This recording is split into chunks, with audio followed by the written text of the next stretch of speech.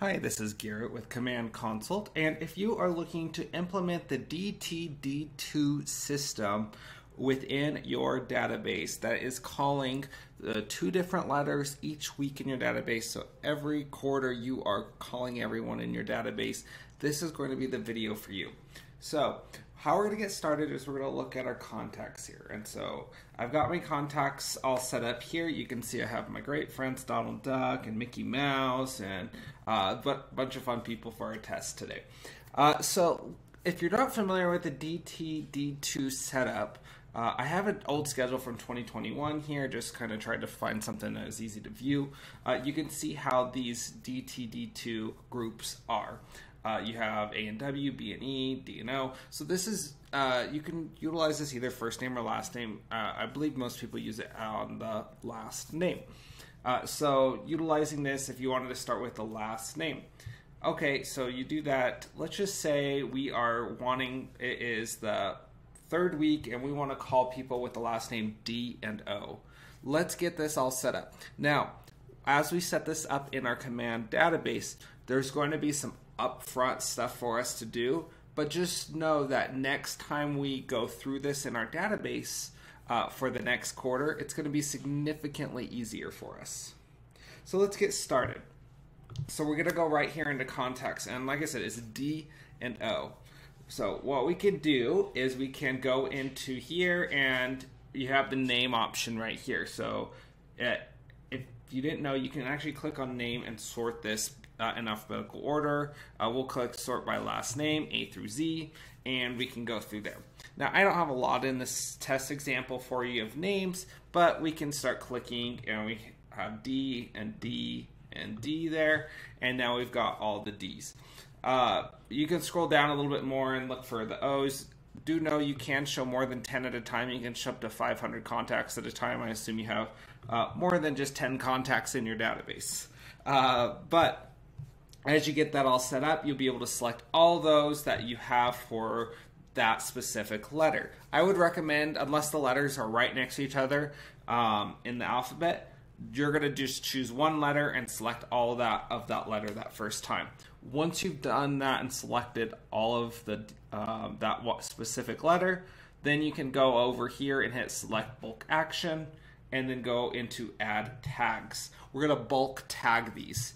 Uh, so again, you're going to figure out what the uh, group is, and so this is D and O. So we're actually use that as the specific tag. So we'll type in D and O.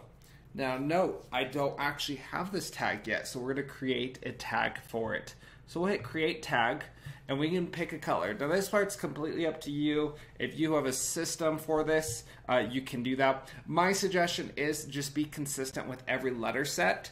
Uh, it's probably going to make it a little bit easier. So if you know that your DTD2 um, tags are all, let's just say orange, then you just you're just going to be consistent with that would be my only recommendation. So let's just say it's D and O. We'll go ahead and hit create tag.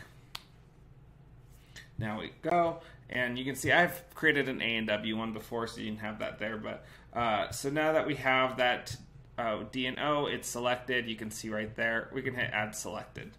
Now we've got that all set up in here, and they're all going to be tagged. It doesn't show up immediately, so don't freak out if you haven't, uh, or if you don't see it pop up. If you actually open up, let's just click on uh, Rose Dawson and open her up in a new tab and you're going to see, sure in fact, it's D and O. She is tagged there. So now that we've got those all tagged, and if you hit the refresh button, it will automatically pop up with the tag there too, just heads up.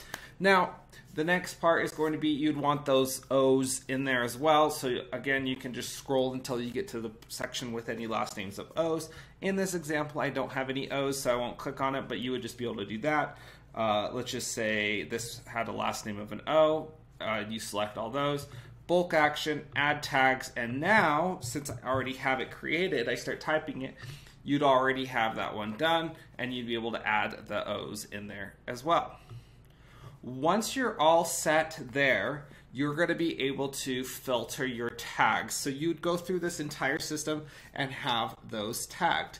So spend a day, it, like I said, it'll depending how big your database is, might take you uh, more than a few minutes to get through all this. But once you go through and get everything tagged, you're actually going to be able to, on each week, uh, do this. So let's just say it's week one. It's time for us, or uh, or let's just say we've started going through and we're going to get to week three. And this could do, you're going to do this every time for your first week or your first time doing DTD2 after you tagged them. So what you'll do is you go in your contacts and you can go into filter and I just have all these uh, tags set up currently. We're going to do uh, uh, what was D and O is what we created. You can see we've got that selected there. We can actually just select that tag and now when we hit apply, only ones with that tag will set up. So we'll go ahead and now we can start um, calling them from here or uh, my suggestion of do one step further to kind of create a call task as a reminder each 90 days is you can actually select them all and you can add them to a smart plan. Hit add to smart plan and you can do if you have already added the quarterly call campaign. So I already have the quarterly call plan on here. If I hit select, uh, and it, will tell you if you don't have numbers for people. Um, the quarterly call uh, campaign is actually from, our call plan is from Keller Williams. So this uh, this quarterly call plan allows you to be reminded quarterly to reach out to your contacts while logging notes for your interactions. Because the great thing is when it this pops up, if you're using the command app, which it is makes the DT DTD2 system incredibly easy because you can just call directly from the app, and then as soon as you hang up on the phone, it'll prompt you to log that call. That's the best part about it. So um, I highly recommend that. So if you haven't added this to your smart plans yet, just make sure you're in that smart plans library. You click on library and you scroll down here till you see the Keller Williams options and see the quarterly call plan.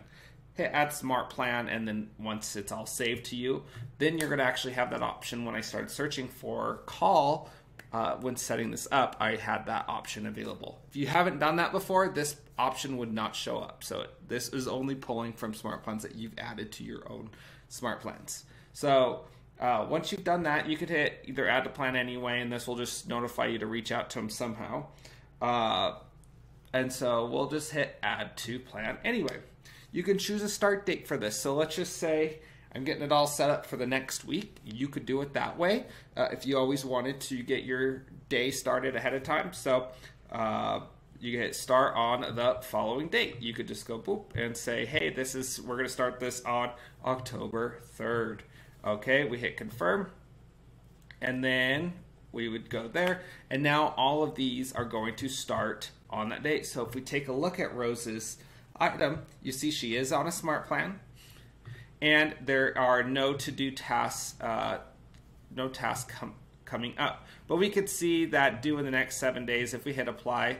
Uh, oh, actually, it's not going to trigger yet because it's a smart plan. So uh, that is going to trigger um, on Monday to start.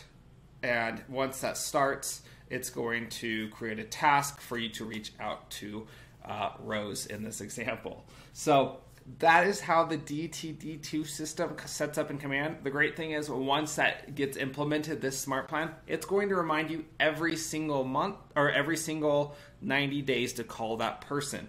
So then you won't actually have to think about what week it is. It's just going to pop up every 90 days at that point. Uh, so you won't even have to worry about looking to see what week it's going to call. You'll have a task to actually call them. So hopefully you guys enjoyed that. If you have any other questions, you can always check out my website commandconsult.com to see any all of my other training videos right here. Thanks so much for watching and have a great day.